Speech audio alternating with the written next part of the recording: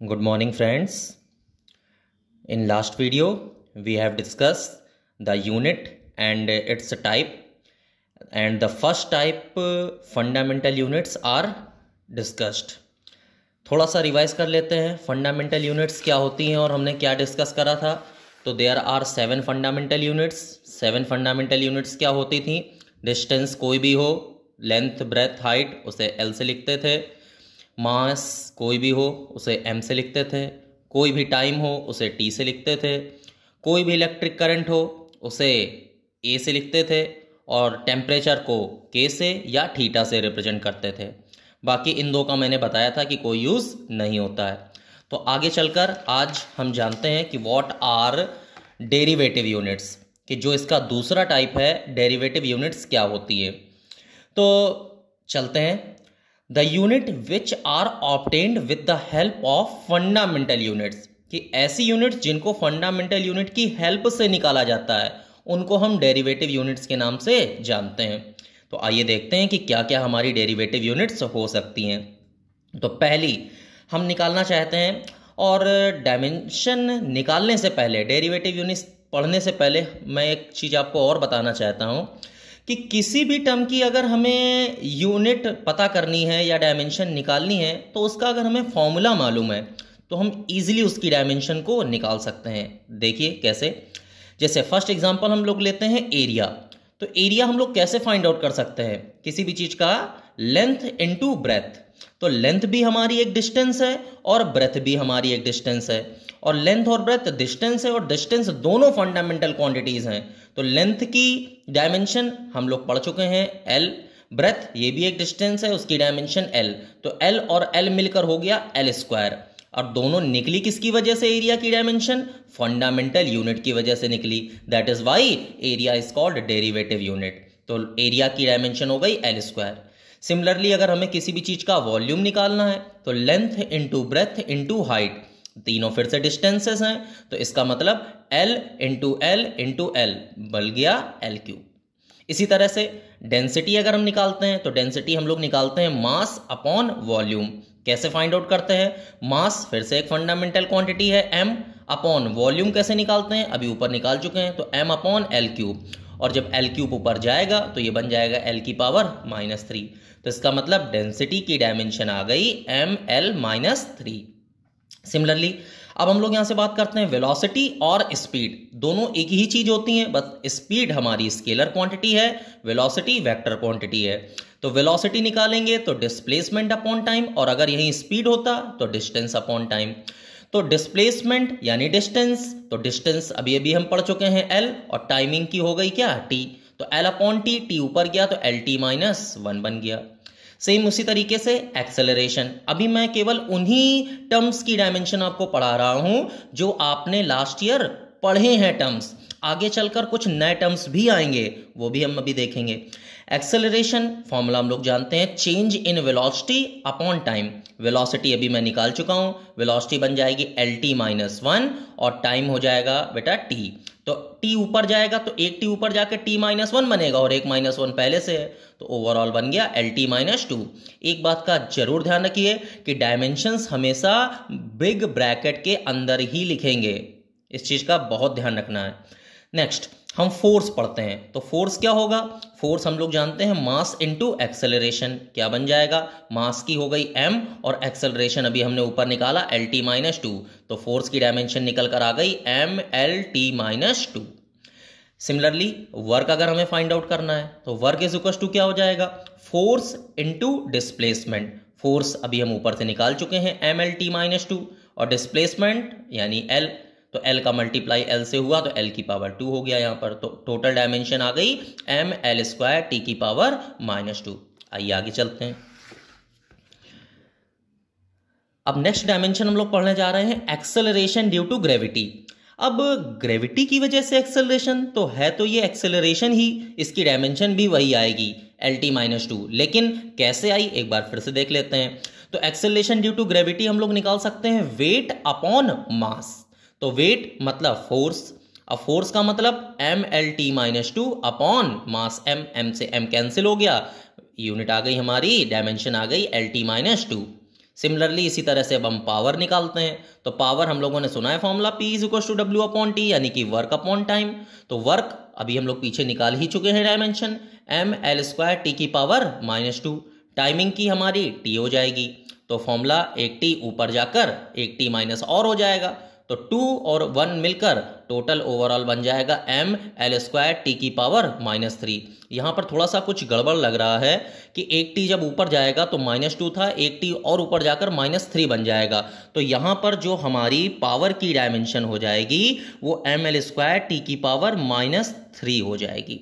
इस चीज़ को ध्यान रखिएगा.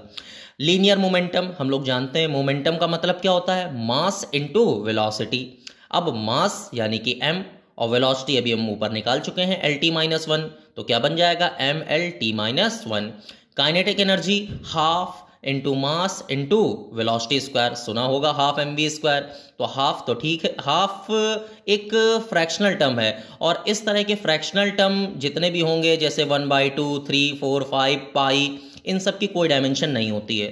तो मास की डायमेंशन हो गई एम वेलोसिटी निकाल चुके हैं एल टी माइनस वन तो एल टी माइनस वन का स्क्वायर करेंगे तो एम एल का स्क्वायर एल स्क्वायर और एल टी की पावर माइनस वन का स्क्वायर बहुत सारे लोग यहाँ पर गड़बड़ करेंगे कि sir minus into minus plus होता है। लेकिन बेटा वो जब माइनस और माइनस का मल्टीप्लाई होता है, तब होता है। ये लिखा है टी की पावर माइनस वन का स्क्वायर मतलब टी की power minus one into T की पावर माइनस वन तो बन गया टी की पावर माइनस टू ठीक है ना? नेक्स्ट अब हम लोग यहाँ से बात करते हैं पोटेंशियल एनर्जी हम लोग जानते हैं, सुना भी होगा हम लोगों ने एमजीएच यानी कि मास इंटू जी का मतलब एक्सेलरेशन ड्यू टू ग्रेविटी और इंटू हाइट तो मास की तो एम हो गई एक्सेलरेशन ड्यू टू ग्रेविटी अभी हमने ऊपर निकाली है एल टी माइनस टू और हाइट मतलब डिस्टेंस मतलब एल हो गया। तो टोटल ओवरऑल मिलकर हो गया एल और एल एल स्क्वायर और टी की पावर माइनस टू तो एम एल स्क्वायर टी की पावर माइनस टू इसी तरह से अगर हमें प्रेशर निकालना है तो प्रेशर का हो जाएगा फोर्स अपॉन एरिया तो फोर्स मतलब M L T minus two ऊपर निकाल चुके हैं हम लोग और अपॉन एरिया का मतलब एल स्क्वायर तो एक एल से एक एल तो कैंसिल हो जाएगा और एक एल जो बचेगा वो ऊपर जाके माइनस बना देगा. तो M L minus one T minus two अभी तक जितने भी टर्म्स की आपने डायमेंशन पढ़ी, ये ऐसे टर्म्स थे जिनको आपने या तो क्लास टेंथ में पढ़ा है, या तो इनके बारे में क्लास नाइन्थ में पढ़ा है। अब आगे कुछ न्यू टर्म्स ऐसे यूज़ होने जा रहे हैं, जिनके बारे में आपको मालूम नहीं है। तो परेशान होने की ज़रूरत नहीं है। जैसे जैसे आप फिजिक्स में क्लास इलेवेंथ में आगे चैप्टर्स पढ़ते जाएँगे, ये टर्म्स आपके इंट्रोड्यूस होते जाएँगे। तो आपको पता चलता जाएगा कि ये क्या है। फ़िलहाल बस हमें इनका फॉर्मूला ध्यान रखना है तो हम इनकी डायमेंशन इजिली निकाल सकते हैं। जैसे इम्पल्स तो इम्पल्स होता है बेटा force into small time of interval तो स्मॉल टाइम मतलब टाइम ही है तो फोर्स अभी हम लोग फाइंड कर ही चुके हैं M L T minus two into time का मतलब हो जाएगा टी तो जब इसका हम मल्टीप्लाई करेंगे तो बन जाएगा एम एल और टी की पावर माइनस टू और टी की पावर प्लस वन मिलके बन जाएगा टी की पावर माइनस वन ऐसे ही मोमेंट ऑफ़ फोर्स एक नया टर्म है मतलब force into force arm length मतलब ये वाला टर्म लेंथ है। लेंथ मतलब डिस्टेंस तो फोर्स की हो गई M L T minus two और इंटू डिस्टेंस की हो गई क्या? एल तो अब एक चीज़ हमें यहाँ पर और ध्यान रखना है कि हमें ब्रैकेट ज़रूर लगाना है। अगर ब्रैकेट नहीं लगाएँगे तो टीचर डायमेंशन को कट भी कर सकता है। तो एम एल स्क्वायर टी की पावर माइनस टू ऐसे ही एक इंपॉर्टेंट टर्म है force constant of spring question इसकी डायमेंशन पूछी भी गई है कई बार। तो इसके लिए हम लोग करेंगे क्या? Applied force upon extension in length मतलब लेंथ में कितना एक्सटेंशन खिंचाव आ रहा है। तो फोर्स हम लोग पढ़ चुके हैं M L T minus two upon extension in length यानी कि एल क्या आ जाएगा? एल से L cancel M T minus two आ गया। आगे आइए और देखते हैं। अब हम लोग यहाँ से पढ़ने जा रहे हैं स्ट्रेस ये सब न्यू वर्ड्स हैं, लेकिन सब आपके इलेवेंथ के सिलेबस में हैं। जैसे जैसे चैप्टर आप पढ़ेंगे, ये सब क्लियर होते जाएँगे। स्ट्रेस का मतलब क्या है? फोर्स अपॉन एरिया अब फोर्स की डायमेंशन हम लोग निकाल चुके हैं। M L T minus two area L square एक एल से एक एल कैंसिल हुआ, एक एल ऊपर जाकर माइनस वन बना देगा। तो डायमेंशन आ गई M L minus one T minus two ऐसे ही स्ट्रेन स्ट्रेन का मतलब होता है extension in length upon original length तो एक्सटेंशन इन लेंथ है तो लेंथ और ओरिजिनल लेंथ लेंथ कैंसिल हो गई।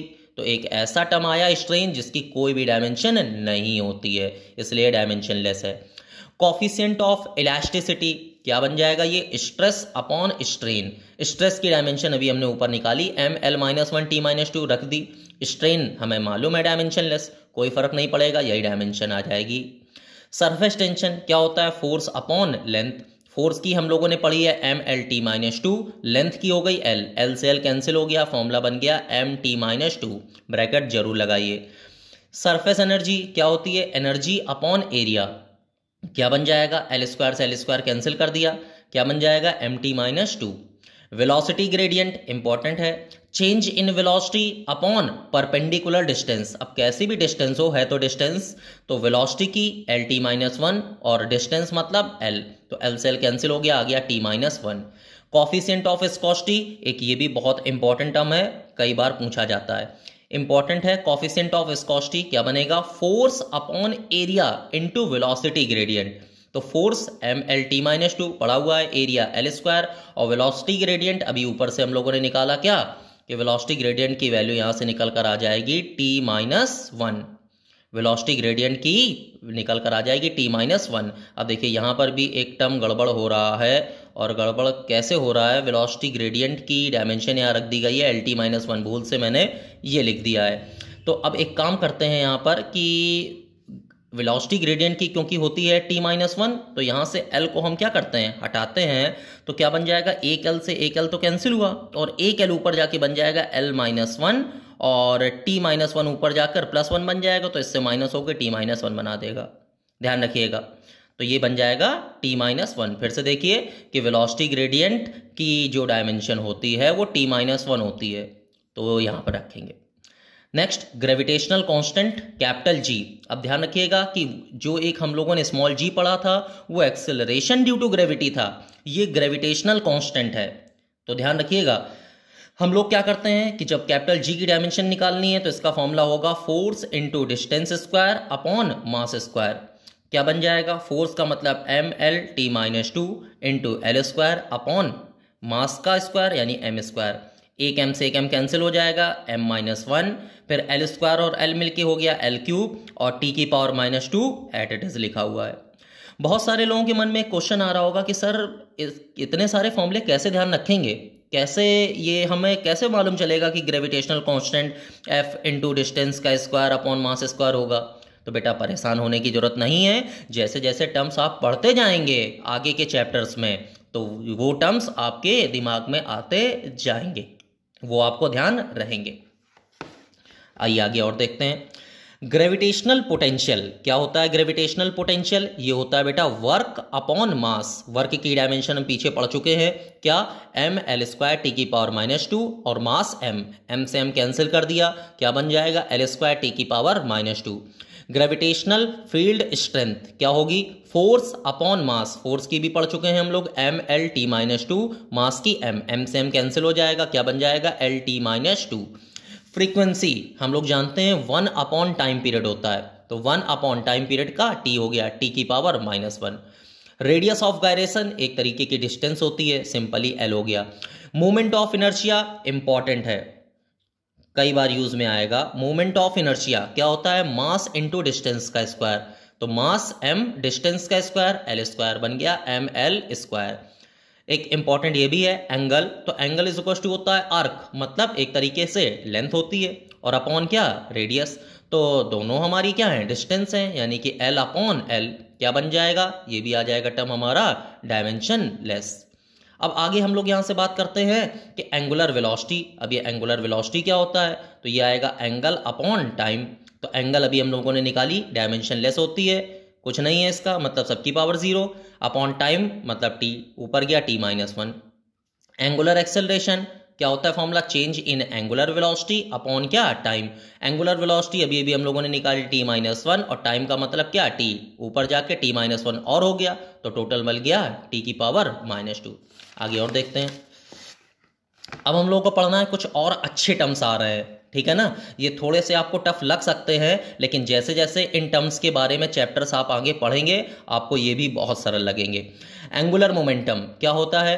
कि वो एक पढ़ा था हम लोगों ने पीछे लीनियर मोमेंटम वो था मास इंटू वेलोसिटी ये है angular momentum moment of inertia into angular velocity तो मोमेंट ऑफ़ इनर्शिया अभी हमने पीछे निकाली dimension M L square angular velocity हम लोगों ने पीछे पढ़ी है ये भी टी माइनस वन टोटल मिलके बन गया M L square T minus one torque क्या होता है? कि moment of inertia into angular acceleration moment of inertia भी पीछे पढ़ा हम लोगों ने एम एल स्क्वायर और एंगुलर एक्सेलरेशन हमने पीछे पढ़ा है टी माइनस टू टोटल मिलके हो गया एम एल स्क्वायर टी की power minus two specific heat ये क्या होती है? सी से रिप्रेजेंट करते हैं इसको। ये होगा heat energy upon mass into temperature rise ध्यान रखिएगा, एक यहाँ पर नया टर्म इंट्रोड्यूस होने वाला है कि यहाँ पर हम लोगों ने लगाया हीट एनर्जी एनर्जी का मतलब क्या होता है? एनर्जी की डेफिनेशन हम लोगों ने पढ़ी है कैपेसिटी ऑफ़ डूइंग वर्क मतलब कि जो वर्क होता है, वही हमारी एनर्जी कहलाती है। तो वर्क की डायमेंशन तो हम पढ़ चुके हैं। एम एल स्क्वायर टी की पावर माइनस टू और अपॉन मास एम और टेम्परेचर एक देखिए नया टर्म आ गया टेम्परेचर को हम थीटा से रिप्रेजेंट करेंगे। तो एक एम से एक एम कैंसिल हो गया। क्या बचा? एल स्क्वायर टी की पावर माइनस टू और थीटा ऊपर गया थीटा की पावर माइनस वन आया नेक्स्ट थर्मल कैपेसिटी क्या होती है ये? थर्मल कैपेसिटी का मतलब मास इनटू स्पेसिफिक हीट तो मास मतलब एम स्पेसिफिक हीट का मतलब अभी ऊपर हम लोगों ने निकाला एल स्क्वायर टी की पावर माइनस टू थीटा की पावर माइनस वन टोटल मिलकर बन गया एम एल स्क्वायर टी की पावर माइनस टू थीटा की power minus one latent heat ये क्या होती है? लेटेंट हीट मतलब एल से रिप्रेजेंट करते हैं ये, लेकिन ये एल कैपिटल एल ये डिस्टेंस नहीं है। ध्यान रखिएगा एल इसका रिप्रेजेंटेशन साइन होने का मतलब ये कतई नहीं है कि ये डिस्टेंस है। लेटेंट हीट क्या होती है? ये heat energy upon mass energy मतलब फिर से work same M L square T की पावर माइनस टू मास का मतलब एम एम से एम कैंसिल हो गया, क्या बनकर आ गया? एल स्क्वायर टी की power minus two coefficient of linear expansion ध्यान रखिएगा, ये भी एक इंपॉर्टेंट टर्म है। क्या हो जाएगा? Increase in length upon original length into temperature rise तो इंक्रीज इन लेंथ ये भी डिस्टेंस हो गई। ओरिजिनल लेंथ ये भी डिस्टेंस है। और टेम्परेचर राइज मतलब थीटा तो एल सेल तो कैंसिल हो गया। थीटा ऊपर जाकर बन गया थीटा की पावर माइनस वन एक ये टर्म हमारा निकल कर आ रहा है, ये वेरी इंपॉर्टेंट है। इसकी डायमेंशन कई बार एग्ज़ाम में आती है कॉफिशियंट ऑफ़ थर्मल कंडक्टिविटी क्या होती है? जरा ध्यान से देखिए कि heat energy into distance upon area into temperature into time अब ये कैसे याद करेंगे? इसको याद करने का एक सिंपल टर्म भी है। जब इसको हम पढ़ाएँगे कि ये कॉफिशियंट ऑफ़ थर्मल कंडक्टिविटी क्या होता है तो ये फॉर्मूला भी आपको अच्छे से समझ में आ जाएगा। फ़िलहाल अभी आपको याद करना पड़ेगा कि heat energy into distance upon area into temperature into time तो हीट का मतलब हीट एनर्जी मतलब work M L square T की पावर माइनस टू डिस्टेंस का मतलब एल एरिया मतलब एल स्क्वायर टेम्परेचर मतलब थीटा और टाइम का मतलब टी तो अब क्या करेंगे? ये एल स्क्वायर से एल स्क्वायर तो एक यहाँ पर क्या हो जाएगा? कैंसिल अब m और जब ये l है तो m इंटू एक ये l, फिर उसके बाद t की पावर माइनस वन ऊपर और हो जाएगा तो टोटल बन जाएगा t की पावर माइनस थ्री और थीटा ऊपर जाकर थीटा की power minus one gas constant एक ये भी इंपॉर्टेंट टर्म्स है कि गैस कांस्टेंट आप लोगों ने पढ़ा होगा केमिस्ट्री में एक equation gas equation P V is to R T ये वही कैपिटल आर है. तो गैस कांस्टेंट कैपिटल आर क्या होगा? प्रेशर इनटू वॉल्यूम अपॉन क्या? टेम्परेचर तो प्रेशर अभी हम पीछे निकाल चुके हैं इसकी dimension M L minus one T की पावर माइनस टू इंटू क्या? हम लोगों को वॉल्यूम की रखनी है तो वॉल्यूम एल क्यूब और अपॉन टेम्परेचर टेम्परेचर हम लोग जानते हैं क्या होता है? थीटा होता है। तो अब हम लोग यहाँ से क्या करेंगे कि जरा ध्यान से देखिए कि एम तो ठीक है एल क्यूब और एक एल माइनस वन मिलकर बन गया एल स्क्वायर क्योंकि थ्री टू वन कैंसिल हो जाएगा। फिर टी की पावर माइनस टू थीटा ऊपर जाके थीटा की पावर माइनस वन एक है प्लांक कांस्टेंट ये भी इंपॉर्टेंट है बेटा। प्लांक कांस्टेंट स्मॉल एच से रिप्रेजेंट करते हैं, इसका कतई मतलब ये नहीं है कि ये हाइट है। ठीक है ना? इस चीज़ का ध्यान रखिएगा कि हम ये नहीं कहेंगे कि ये प्लैंक कांस्टेंट का मतलब ये हाइट है। तो अब क्या हो जाता है, ये प्लैंक कांस्टेंट का मतलब एनर्जी अपॉन फ्रीक्वेंसी तो एनर्जी मतलब work M L square T की पावर माइनस टू टी की पावर माइनस वन क्या बन जाएगा ये? टी की पावर माइनस वन ऊपर जाके प्लस वन तो माइनस टू से कैंसिल हो जाएगा, बन गया एम एल स्क्वायर टी की पावर माइनस वन तो इस वीडियो में हम लोगों ने जाना कि फंडामेंटल टर्म्स के बाद हमारी डेरिवेटिव टर्म्स क्या होते हैं और उनसे डायमेंशंस कैसे निकाली जा सकती हैं। नेक्स्ट वीडियो में हम लोग ये जानेंगे कि ये डायमेंशंस जो हमने निकाली हैं, इन डायमेंशंस का हम क्या यूज़ कर सकते हैं, इनसे कैसे न्यूमेरिकल्स सॉल्व करेंगे। उम्मीद है आपको वीडियो अच्छी लगी होगी। Thank you so much